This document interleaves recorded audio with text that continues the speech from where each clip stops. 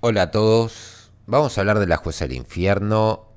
Capítulo 9 y 10. Voy a tratar de incluir ambos porque básicamente tienen eh, mucho en común. En este capítulo lo que van a ver es un poco, eh, por un lado, se va a llamar a Bael. Lo otro es un poco las consecuencias también de la muerte de la, la detective que había oficiado de madre, digamos, que había adoptado a Dao. Creo que en términos generales estos dos capítulos funcionan como una especie de aclaración del lore, ¿no? Te van a contar un par de, historias entre el capítulo 9 y el 10. Algunas son del infierno, otras son de relaciones. Por ejemplo, te van a mostrar de que el ángel que está ahí es Gabriel y todas las veces que ha estado ayudando eh, a personas de los capítulos, ¿no? a las víctimas de los capítulos, eh, quien las ayuda para que no mueran es eh, justamente este ángel.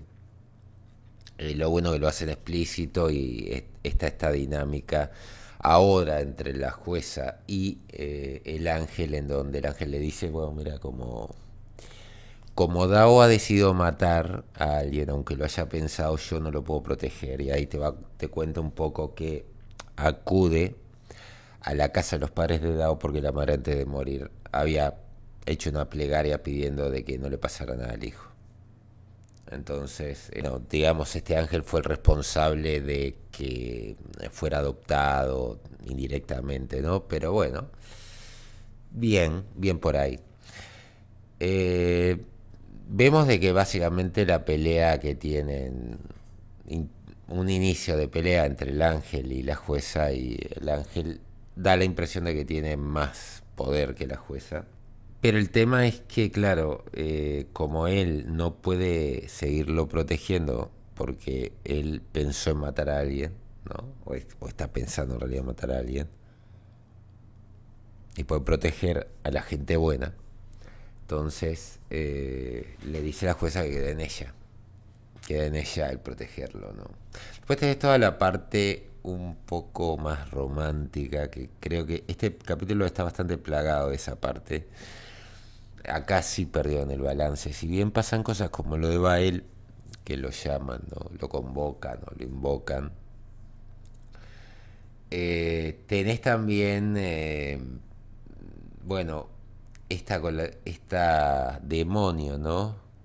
Que está amenazando al demonio colaborador de la jueza para que, o chantajeando, ¿no? Y además aparece otro demonio a trabajar en, la unidad de, de Dao que te das cuenta la legua de que es un demonio y, por qué está, ¿no? Básicamente es un ex, eh, digamos, es un enemigo que tuvo la jueza en un momento y la van a seguir.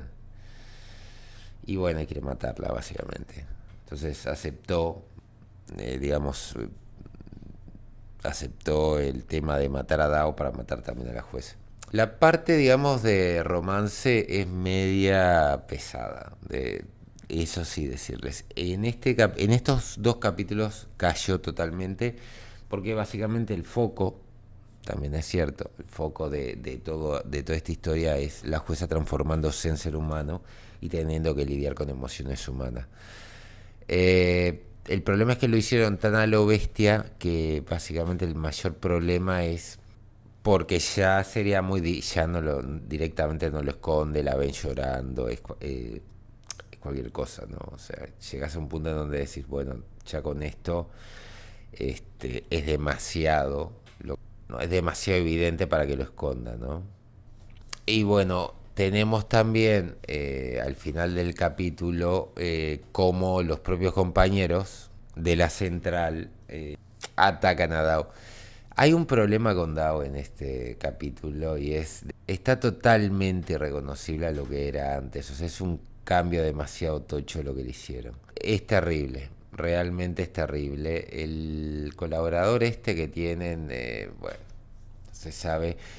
Y la, digamos, esta colaboradora que es de la, yo qué sé, policía secreta demoníaca, ya es muy evidente que la quiere joder. Eh, es raro que no se dé cuenta ella que le están queriendo joder. Es muy raro. Pero bueno, el capítulo 9 termina eh, básicamente con eh, Dao borrando, digamos, una, este, una evidencia, ¿no? Y el colaborador, el que el otro detective trabaja con él, este nuevo que es un demonio, eh, diciéndole vos borraste, eh, bueno, ahora vas a hacer lo que yo quiera. ¿no? O sea, el chantaje. Que decís, bueno, está, ya está. Eh, va a ir a full, full romance, ¿no? Pero eso se va a explicar un poco en el capítulo, en el próximo capítulo. Bueno, seguimos un poco con el tema de la profecía. No de... para el capítulo 10, ¿no? Eh, continúa un poco lo que es el... Supongo que va a ser lo habitual en esta serie, si sigue. Y es la relación entre un ángel y un demonio, que siguen peleándose. Es como una especie de alivio cómico para lo que va a venir más adelante. Eh, se va a cerrar todo lo que se planteó al principio, ¿no? Se cree, eh, por un lado, quién es el, el, asesino serial este J, pero en realidad no lo es, no es él y empiezan a pensar de que puede ser Satán buscando volver a la vida. Eh, y la búsqueda de Satán está, está terrible.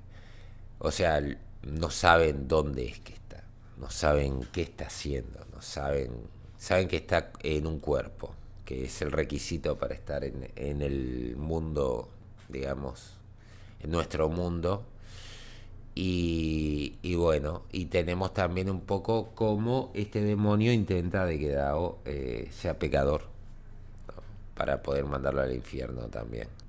Lo mejor de todo es la historia de la mujer esta religiosa que vive en, esa villa ¿no? que tienen. ¿Por qué? Porque te va a contar cómo perdieron a su hijo por culpa de este asesino y cómo esa mujer decidió quedarse en ese lugar para tratar de encontrarlo y preguntarle por qué, por qué le había arruinado la vida. Y te muestra cómo esta mujer perdió la fe en ese momento y cómo se perdió ante la tristeza. Eh, es terrible, realmente es una, es una historia muy... Creo que es la mejor historia hasta ahora.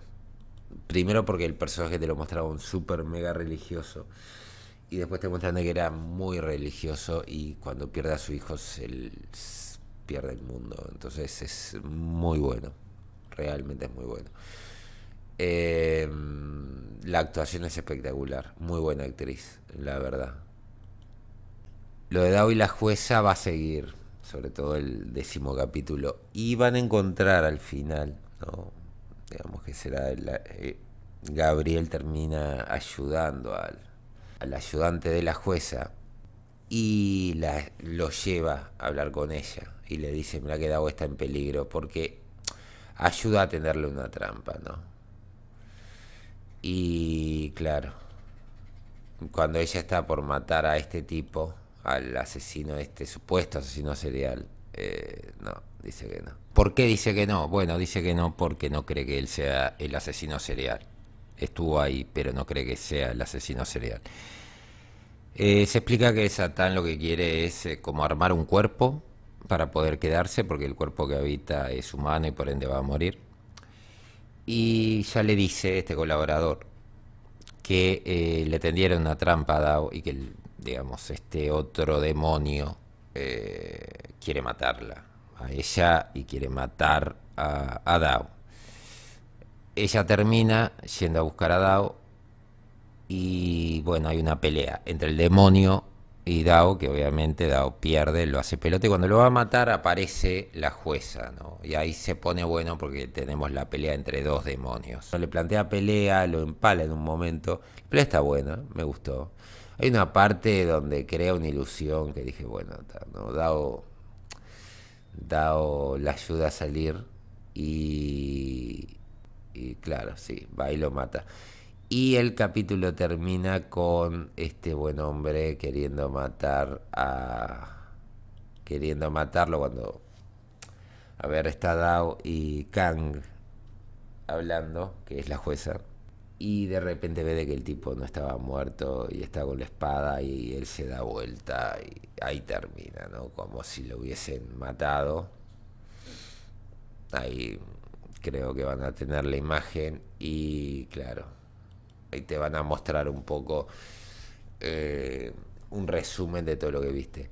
El tono que van a tomar creo que ahora va a quedar en este tono porque el único arco me parece que importa ahora es el arco de Satán.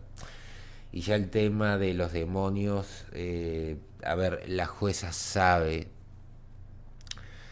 ya tiene claro que primero sus colaboradores demonios todos están ya sufriendo lo que es la humanización, como ella. Y ahora el, el Bael ya sabe que, digamos, mínimo la jueza es humana, se está humanizando, entonces yo no sé para qué querría volver la jueza en este momento para ahí. Eh, seguramente se salve eh, este tipo porque pueden tirar por el sacrificio original, que aparezca Gabriel, no al, al querer dar su vida para proteger a otra persona, que pueda entrar Gabriel, algo de eso no sé por qué me parece. Porque esa química tiene pinta de que la van a querer seguir, ¿no? También te hacen una historia con dibujitos sobre el tema de. para volverte a contar lo de. lo de Satán. A ver, capítulos entretenidos no es lo mejor. A pesar de que tenés una lucha de dos demonios, no es lo mejor. Muy buena la pelea, la verdad que me gustó. Eh, es entretenida esa parte. Eh, pero bueno, la parte... Tiene mucha parte romántica esta, este capítulo, ¿no? Y un bajón tremendo. Creo que estiraron un poco este, estos capítulos, cosa que no sentí con los anteriores. Eh, capaz que desarrollo por esto de la humanización, pero llegó un punto que decía hasta ya no, ya no podés esconderlo, te, o sea, por el principio que planteas te van a matar para mandarte al infierno. Eh, no, no es el caso, no sería el caso, en, digamos, en esto. Em, no sé. Ustedes comentenme qué es lo que opinan. Si les gustó o no les gustó. Yo a este capítulo le pondría un 6. Me parece que está bien. Eh, para decirles, es un capítulo entretenido que tiene sus cosas. Pero bueno, dejen lo que opinen en la caja de comentarios. Saludos a todos y nos vemos en la próxima. Adiós.